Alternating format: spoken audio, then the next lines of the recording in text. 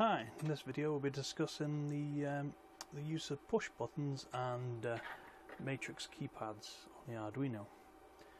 Uh, it's probably going to be a short video, but um, but it'll cover the basics, and then we can move on to the uh, the current sensing and current limiting next video for the uh, the power supply, and then we'll have almost a fully working power supply where we just got to tweak it and add our own little bells and whistles to it. Okay, so let's uh, let's have a quick look at the bench. What we have running here is uh, a little demonstration. now I'm using my Arduino Mega because they um, I think I popped the USB chip on the uh, on the Nano down there when I was setting this up. I um, originally had this bit of plastic over, and it's really hard to see the LCD for it. It's very dark. So I changed the resistor value and uh, I think I overloaded the, the 5 volt line on the USB. But anyway, so let's use the Mega for now. Okay, so I basically got the LCD demonstration there. I have five buttons hooked up. And uh, basically these increment and decrement 1, these increment decrement uh, 10, and that just resets to 0. So you can see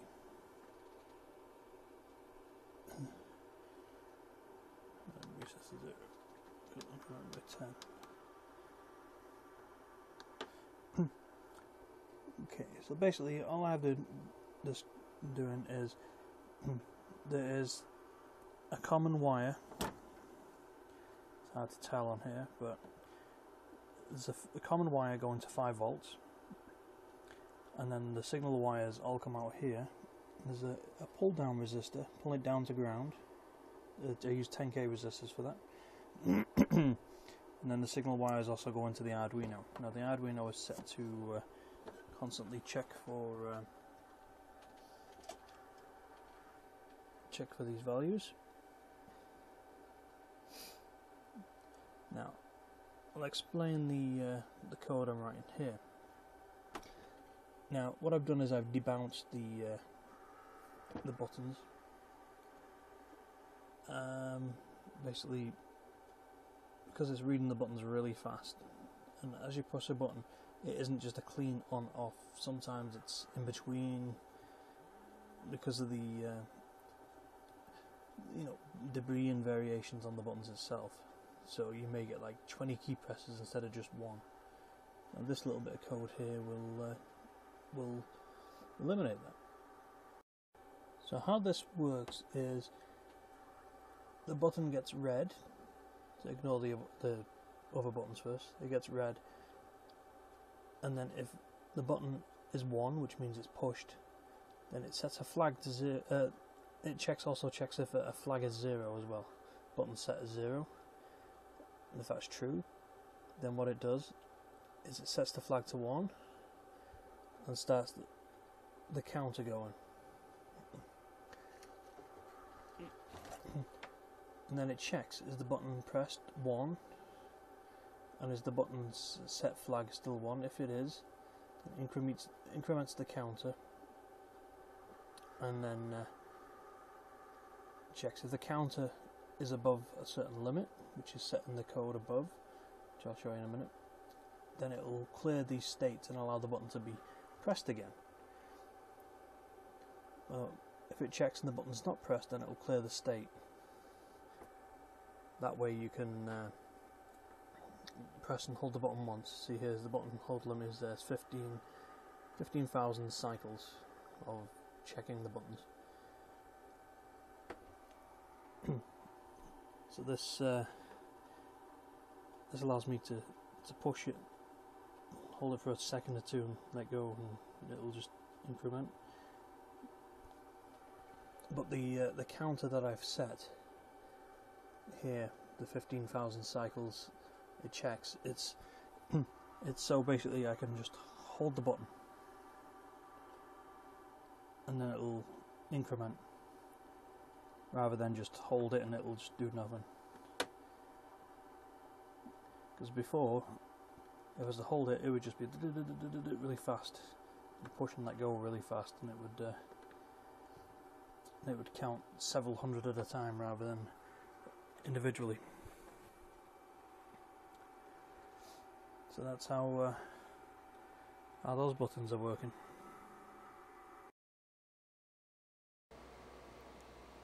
Okay, here we have the uh, quick schematic of the, the normally open push button, how it connects to the Arduino. Now the one end of the push button will go to VCC, which is usually 5 volts, sometimes it can be 3.3, it doesn't matter, still works in this case. And then the other end will go to the digital input, in this case it will be on the Arduino. Now the 10k resistor pulls it down to ground.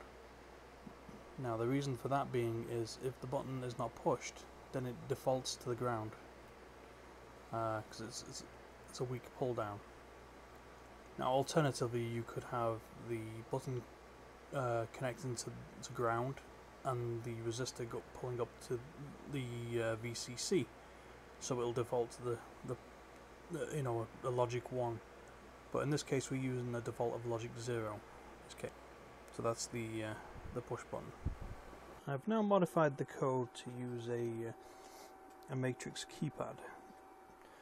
Now uh, as you can see here I've added four diodes which I'll explain uh, what that's for in a minute. I've connected them to the uh, to here now basically what this does is this is output. It uh, selects the columns on here through the diodes. Now the reason for the diodes is to stop it cross talking backwards when you hold a button down. Because uh, if you, you hold multiple buttons down it'll get confused. And also if you use the diode you can also use it uh, on the data lines of the uh, of the LCD for instance. I haven't done that here but you can do as long as you um, do it on so there's four data lines coming out for this. You can multiplex it. You can sorry you can you can use it on the same lines to check the uh, the rows or the columns or whatever the output from there through the diodes. That way it doesn't interfere with the screen now as long as you're reading this when the display is not being updated or you're writing to the display when you're not reading from this, then uh, it should be a problem. Here we have a uh, layout of how the, the matrix keypad is connected. now this could be rotated if you uh, if you prefer to scan the rows instead of the columns or the columns instead of the rows, whichever. But the way it is right now, it's scanning the columns and it's reading out the rows. Um, so basically, what the uh, the Arduino will do is it will it will select which row to uh, to read from, and then the columns go into the digital inputs, and then you can read which of the uh, the columns have actually been used, which we'll see in the next picture.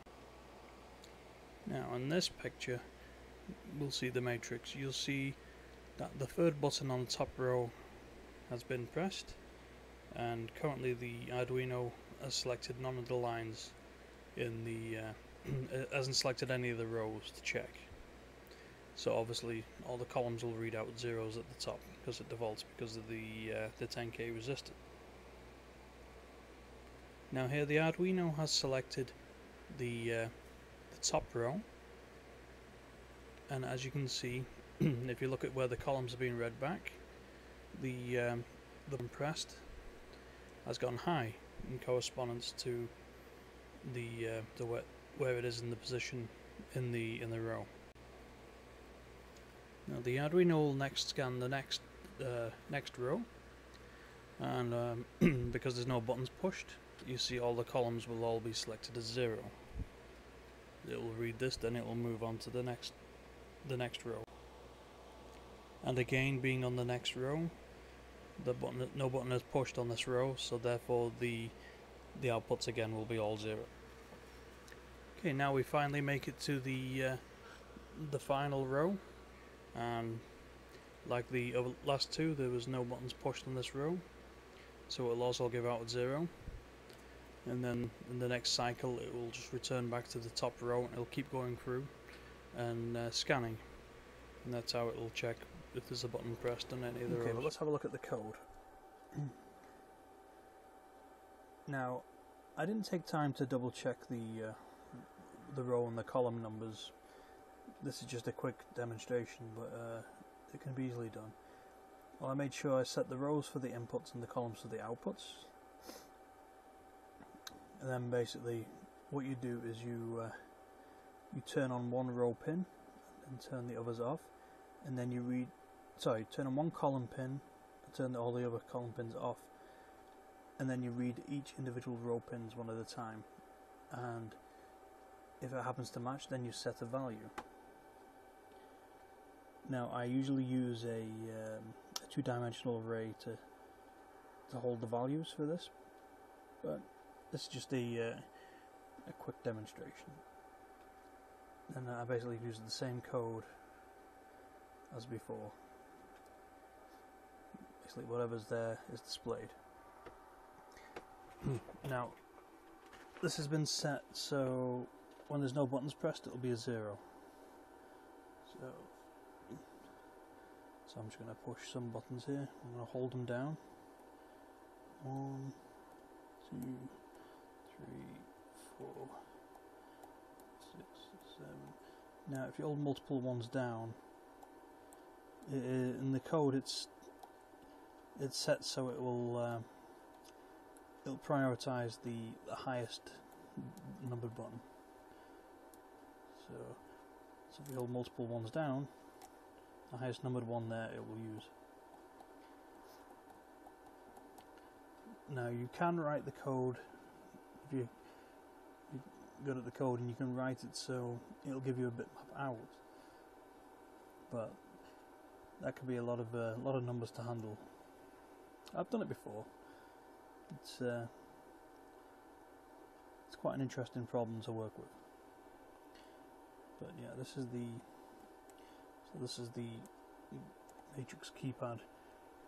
You can usually you can buy um, little telephone number pads on eBay quite cheaply, and uh, and the one I shown in the other video, which for some reason I can't seem to find it. I was going to use it in this demonstration, but uh, that's also a 4x4. The numeric keypad ones you can get on eBay, they're usually a 3x4.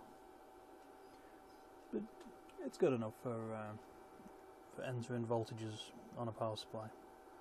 I've used them actually in the industry myself um, with no problems. But yeah.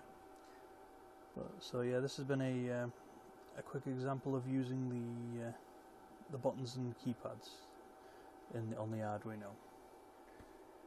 Okay, I'll probably add some more information into this video as well, but, for now that's that's the demonstration. Hi, uh, thanks for watching the video. I uh, hope this information is useful. Uh, sorry it's uh, it's a bit short, but the uh, you know you can either go briefly on the topic or you can go whole in and let, spend several hours describing it. So, but if there's more call for more in-depth information, I will uh, I'll gladly provide another video. But uh, but yeah, so thanks for watching. Uh, and I'll see you next time. Goodbye.